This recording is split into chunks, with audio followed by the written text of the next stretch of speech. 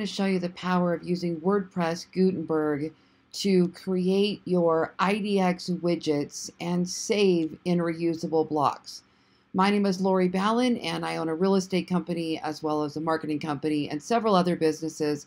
I also earn six figures as an affiliate marketer. So, marketing is my passion, it's my one thing. Now, I know that was a mouthful, but it's going to look a lot simpler when I break this down what we're doing here, the goal is when we create um, a piece of content, a blog post, a web page, we want to give the um, user the ability to engage with our website. We want them clicking and playing videos and um, browsing images or products or services.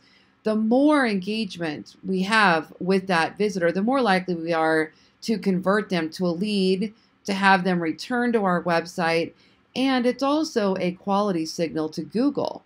They believe Google believes, of course, that if somebody is engaging with your website, they're taking actions that they are finding it valuable. So this is a positive signal that's going to help potentially with your search engine rankings.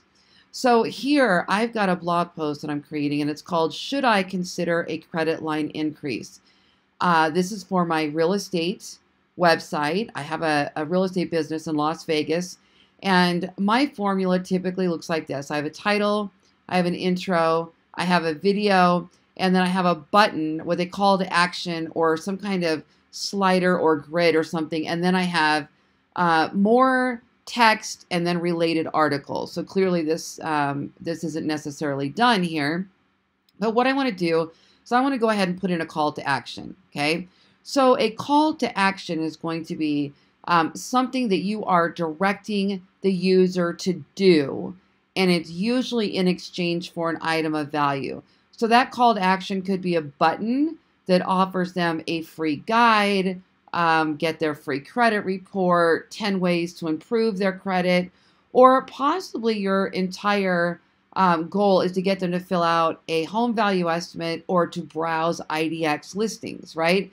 Because in this particular case, I'm targeting a buyer who needs to improve their credit. So it might make sense that they're gonna they want to actually browse um, our IDX for listings. So I'm going to test several calls to action and see what works and what people are clicking when I uh, build a page. So let me show you how to put in a simple IDX search that, that you can uh, just drop in to any blog at any time.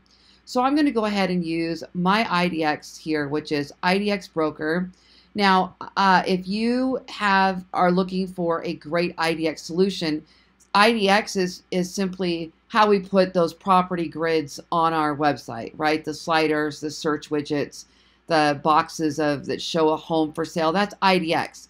And a lot of real estate agents don't even realize that you you actually have choices um, in what IDX to use, especially if you're building your own website um, on something like WordPress.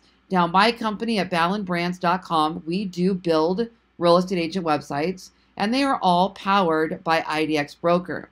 Now, if you decide you want to check out IDX Broker, if you use my link that's in this video, when you sign up, you'll actually save the $99 setup fee and then my company, Ballen Brands, becomes available um, as your support team. Now, that doesn't mean we provide free support necessarily, but it does mean that we are available to help you with your IDX, and um, it gives you kind of this go to spot um, for your IDX needs. So, what I'm going to do now is I'm going to go ahead and build an IDX widget. Okay, stay with me, I'll show you what it looks like. So, we're going to go to Designs, I'm going to go to Widgets, Create type of widget.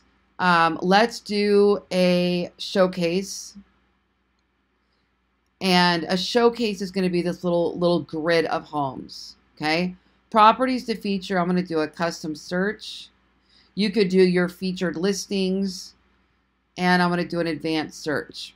So I'm going to do only single family homes. And what I'm looking for is homes that would be kind of starter homes because this particular blog post is designed for people that are looking to buy that might need to improve their credit score to buy.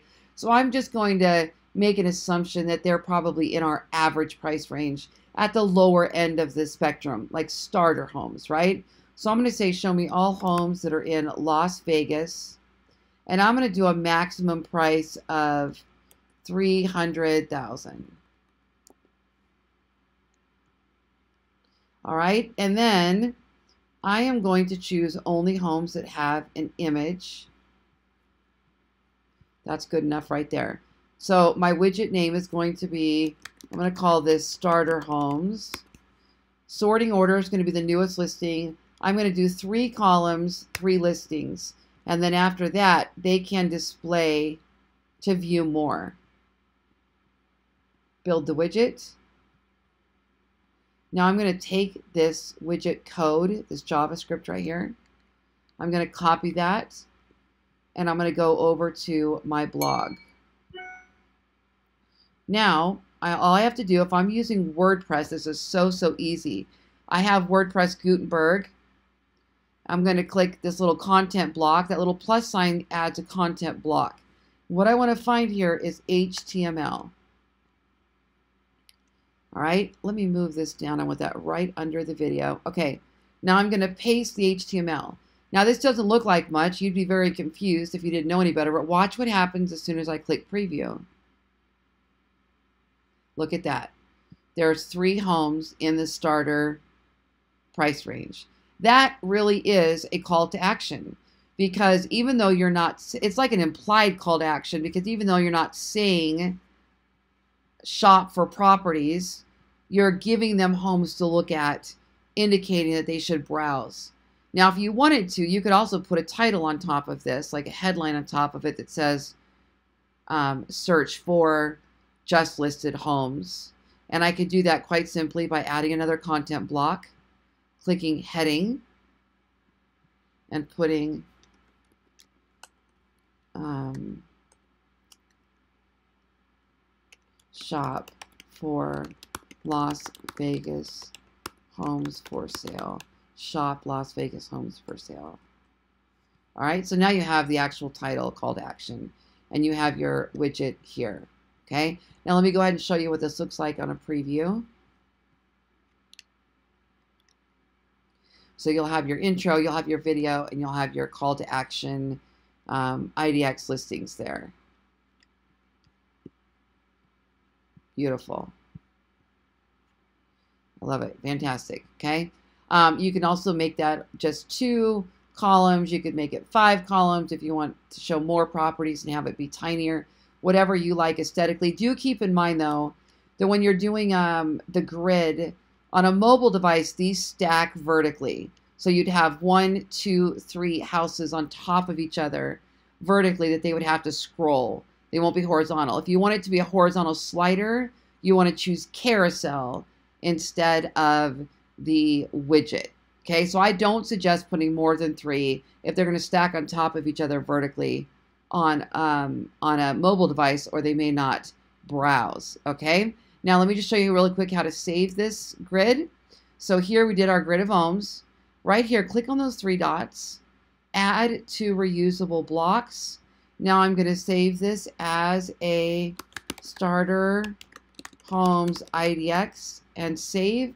Now, anytime I create a blog post where I want to drop in those starter homes, I can simply go to my add a block, go down to my reusable blocks and find my starter homes IDX, click there and it just drops it right in.